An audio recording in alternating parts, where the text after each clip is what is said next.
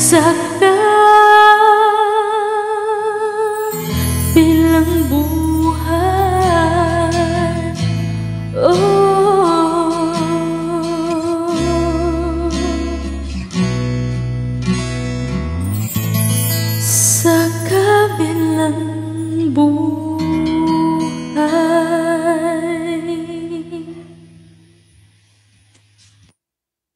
Thank you guys for watching. I hope you like it. So don't forget to like and subscribe.